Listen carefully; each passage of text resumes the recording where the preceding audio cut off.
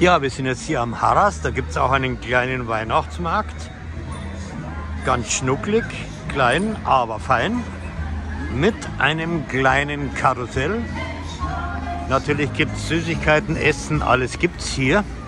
Und da haben wir hier ein kleines Karussell.